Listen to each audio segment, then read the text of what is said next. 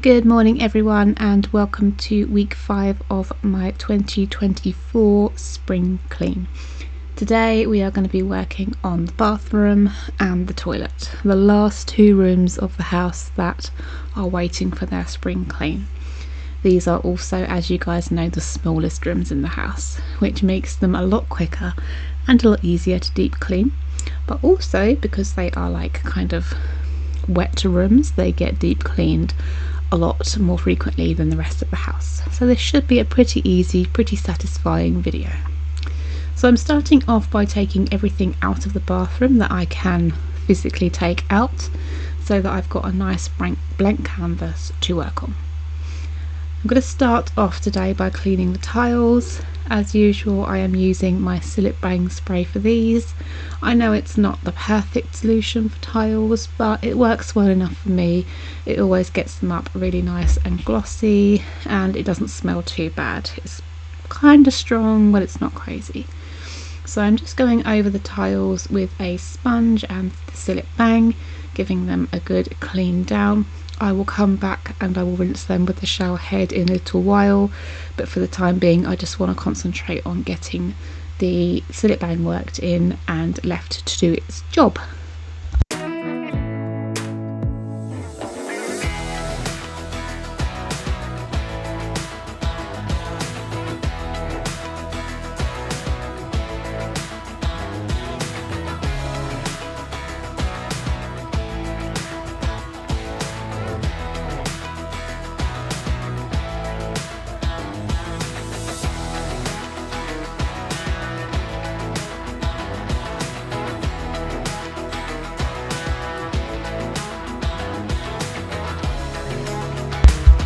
So while I'm over on this side of the bath I'm just going to remove the rainfall shower head and give that a nice soak in some Viakal to get rid of the scale and any kind of marks or anything from the water. While I'm there I'm also going to spray the taps and all of the chrome to get rid of all the watermarks, all the lime scale, all that stuff. The Viakal is pretty strong smelling and I don't like to be in the room with it for too long so I'm only going to leave it to sit for about five minutes. Um, but our bathroom does have an extractor fan so it's pretty well ventilated and it was okay on this particular occasion. So I'm just going around now with the Cillit Bang and doing the lower tiles as well. I don't have to get into the bath for this one fortunately um, and I'm just going to get those wiped down as well before I can rinse them off.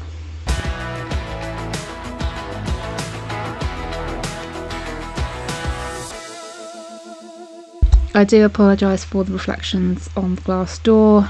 Um, this door does not open all the way out, so I can't open it while I film for you guys because we have the sink in the way. So I did clean the tap and the plug hole with the Viakal, um, but unfortunately the camera didn't record. I don't know if I just didn't hit the button right or whatever. So I'm going to do it again for you guys. But unfortunately that means you won't get to see all the grime and stuff. So I've sprayed it again for you and we're going to come back and deal with that in a minute. But for now I'm going to polish up all of the shower heads and the main chroming down towards the shower. I'm going to use my toothbrush just to get into the little nozzles of the secondary shower head um, before I put the main one back on again. So I'm just cleaning the, um, what would you call it, hose? the chrome hose and the taps. This is the first time I've ever managed it without soaking myself. I feel like I'm learning things as I'm getting older and wiser. I'm going around with that toothbrush again, getting into all the little cracks and crevices of the tap. Uh, this does get pretty manky back here. I'm not going to make any excuses for it. Because I don't clean it enough. Um, just because it's fiddly, I guess. But I'm getting it done today. And it's much, much better already. so I'm just going to... I'm even polishing the plug hole. Look how good I am today. I was really not feeling it today. I've been pretty ill recently. I'm not sure what's going on with me. I just don't feel right. It's not like a specific illness. I just feel really under the weather at the moment. So to motivate myself to get that far was pretty good. So I'm just rinsing down the tiles now with the secondary shower head. That's what I always do. I will go around and just buff those with a dry microfiber cloth in a little while just to give them a good polish but I tend to end up doing that five or six times because I will buff everything and then I'll clean something else and it will get wet again. So going over the main rainfall shower head with the toothbrush and the Viakal, look how shiny and gorgeous that is. It's worked perfectly. And the plug hole, I'm sorry you can't really see this. I did get my action camera you guys, I was talking about it in the last video. I did get it but I haven't really figured out how to get decent footage with it yet. The footage that I'm getting is really kind of grainy and not very not very good. I think I'm going to have to spend a little bit more on a more expensive one, which means we're going to have to wait a little bit longer. Um, but I got the footage that I could. Like I say, I've already done this tap once, so you can't really see the grime. the first time I did it, there was all kind of brown gunk coming from the bottom of the tap. Um, but you know, it is what it is. You can see that I have now cleaned the tap. It's very clean. It's now double cleaned. I'm going to rinse off that shower head and get it popped back up onto the main shower unit and try and get this bath finished. It felt like it was taking a really really long time just to clean the bath area more so than normal. And I wasn't really going into any more depth than I normally do on a deep clean. I don't know maybe because I was unwell it just it felt like forever. And it felt like I was constantly polishing all this chrome. But I can reliably inform you that less than half an hour passed after I had cleaned this bathroom before somebody went for a shower and totally ruined it. Family life, eh?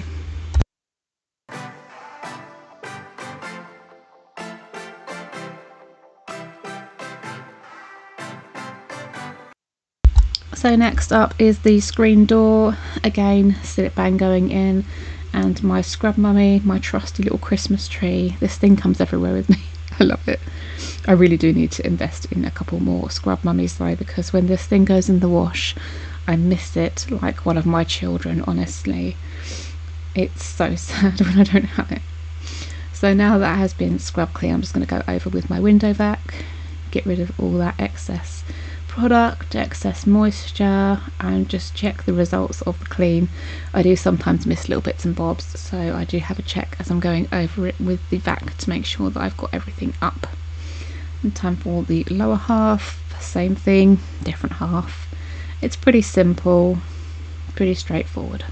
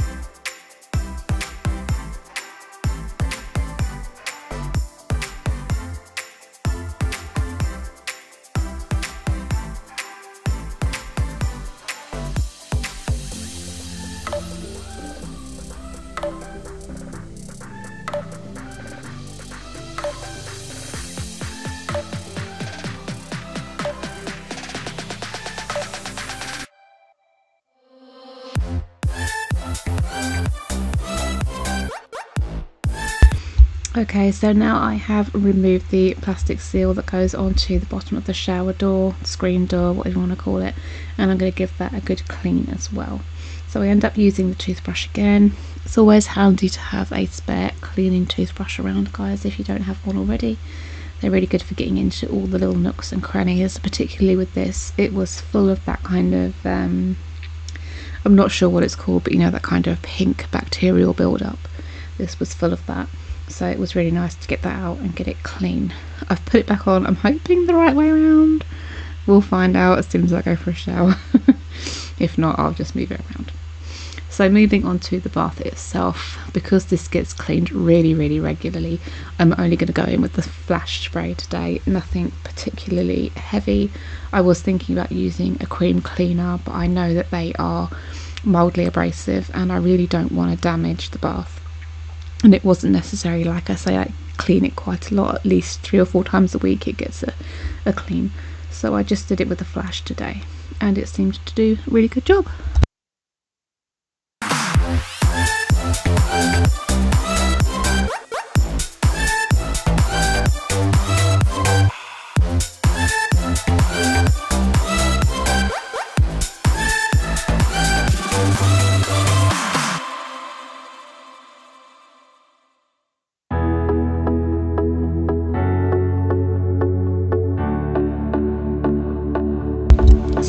I'm going in with the Viakal on the chrome just to get all of the spots of water and lime scale off. We are in a very hard water area here in Hertfordshire so um, we do get marks on chrome quite a lot. Um, it's always pretty satisfying to get it nice and clean though, I won't deny that. Viakal is really really good for that. So I'm just going over both of these handles with the Viakal and the toothbrush and then I will rinse them off just with some clear water from the secondary shower head and that will be those done.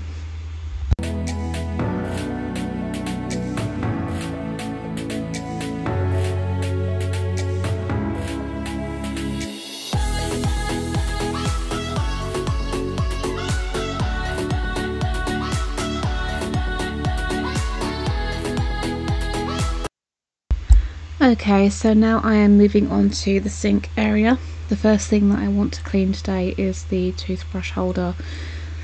I say toothbrush holder, it ends up holding all sorts of things during the week. It's supposed to be just for the toothbrushes and the toothpaste, but we end up with razors in there, bathroom scissors in there, all sorts of things, and it gets grubby.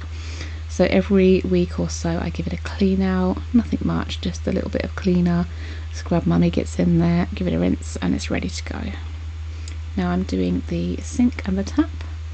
Again, nothing major, it gets done pretty re re regularly, relatively, regularly, so it's not too bad. So I'm giving that tap another polish because, like I say, it's gotten wet again. And I'm giving the tiles a quick go over. They don't need anything near as um, as much as the bathroom ones did, so, well, bath area. So it's time to move out the big cabinet now. I don't move this thing out enough. I won't. I won't beat around the bush. This thing gets moved out very, very rarely because I hate doing it because stuff always drops on the floor. I don't know why they can't make those cabinets so that the kind of curved bit that goes around the plinth is not closed in. I might try and fabricate something with some um, sort of flexi plastic or something like that because every time I move that thing a bunch of stuff falls out. So I'm cleaning this box at the back here. This is literally just boxing in some pipes that um, until they did the bathroom were driving me crazy. They would just sit there and gather dust and hair and spiders and all sorts of things. So I'm really glad they're boxed in. But as you can see on the left hand side of the picture now, the um, silicone that they put around it has come away. So that's a job that I'm going to have to redo at some point soon because we're going to get water in there and that's going to start mould off. And we're very cautious about mould in this place because we suffer so badly with damp. So I need to get that done in the near future as well.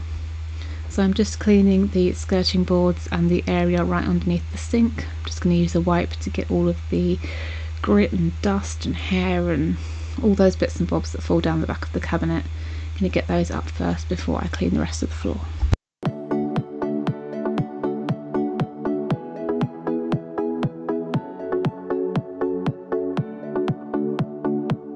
So to do the main clean on this area I'm just using my Flash multi-purpose in the cherry blossom scent. It smells really lovely. Um, sorry if you can hear the motorbike outside. Someone's got a really loud bike around here. Um, I'm just going to go over the floor and the skirting boards with that. It smells gorgeous. Made it smell really lovely and clean in here by the time I was finished.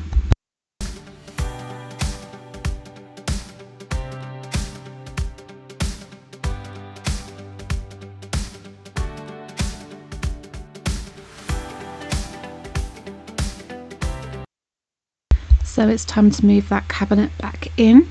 I'm not going through it today and clearing it out today purely because that is going to be a video coming up soon.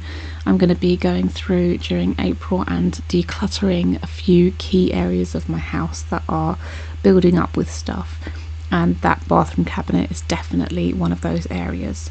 So I'll be coming through in the next couple of weeks. I'll be measuring it up. I'm hopefully going to get some storage bins that will fit in there properly um, and I will be going through decluttering, reorganizing and just making it better but that will be a video coming up in April for you guys if you're interested so for now I'm just going to go around and get the rest of those skirting boards done get the radiator done and then we can finally move on to cleaning the floor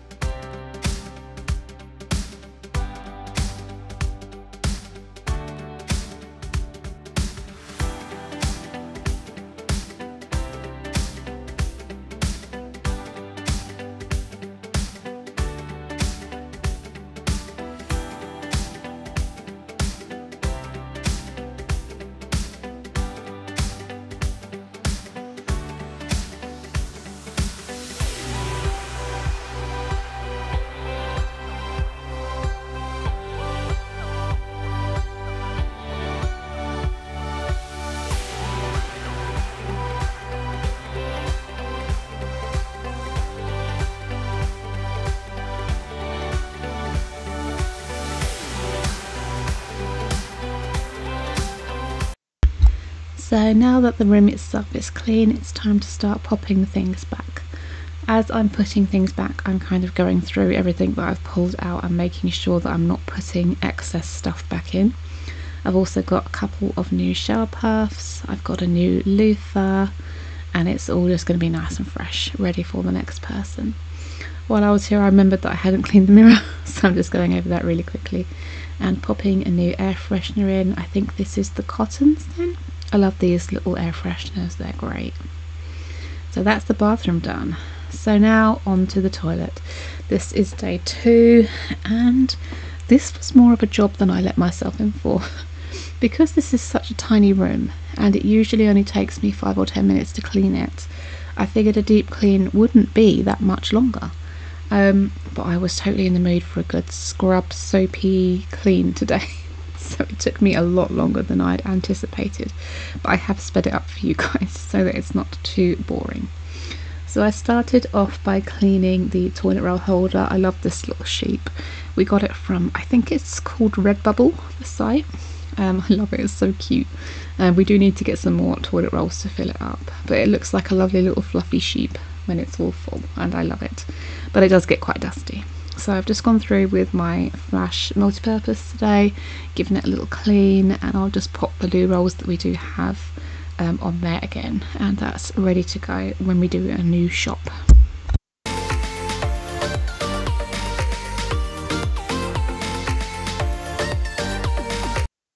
So next up I'm moving to the very top of the toilet. I always clean the toilet from the outside in um, just to stop myself from moving nasty bacteria from the outside of the toilet, uh, from the inside of the toilet, sorry, out to the handle and things like that. So I always start with the top and then work from the outside in with the toilet. Just cleaned the toilet rubber holder. Again, that's another one that gets really, really dusty. So now and then I just like to pop the loo roll off and give that a bit of a clean. So the toilet itself gets cleaned, as you can tell from my other videos, a few times a week. I'm trying to do it daily, but it doesn't need like a big scrub clean daily. So it's not too bad today, it's just a tick over clean, but I want to go all out and give this a really good scrub clean today. So I've got my gloves on, I've got my Cillit Bang spray, the Harpic's going on in there, and then I've got my Flash multi-purpose in some nice hot water and a sponge and I am just going to go for it with a soapy Suddy wet clean today. This was so satisfying, I absolutely loved it. Definitely going to clean my toilet like this more in the future. So like I say, I'm just working from the outside in and going over it with the flash.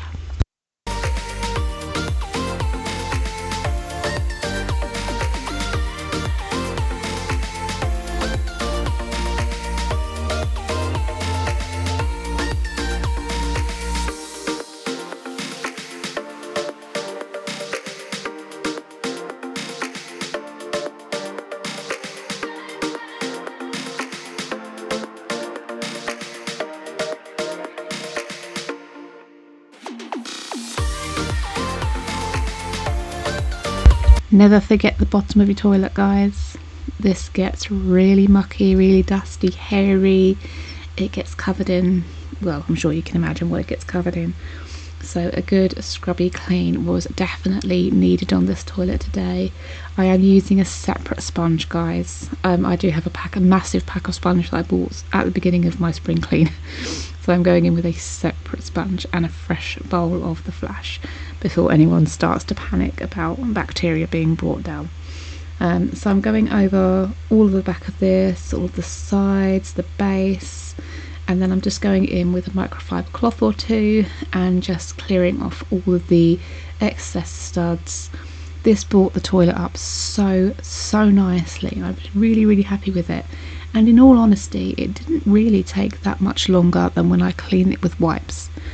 And I don't know about you guys but I feel like it had so much more of a clean because it's been absolutely sopping wet with suds and product and it's just I feel like it's way cleaner than I get it with the wipes. So I think once a week I will clean it like this in the future and the rest of the time I will clean with wipes. And I think that will be really good going forward for keeping it nice and fresh in here.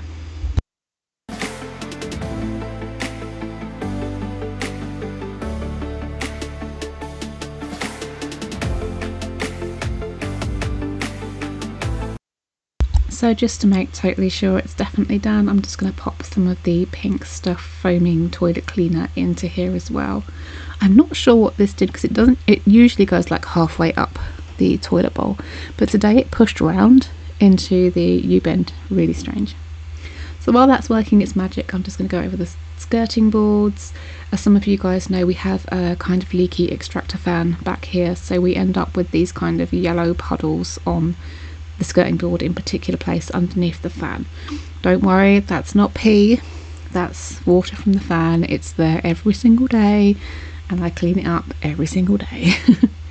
so I'm just going over the rest of the skirting boards with the flash spray that's all I'm going to be using from now on um, during this clean is the flash spray getting all of the dust hair fibres all of that off of the skirting boards and then I'm going to finish it off with cleaning the floor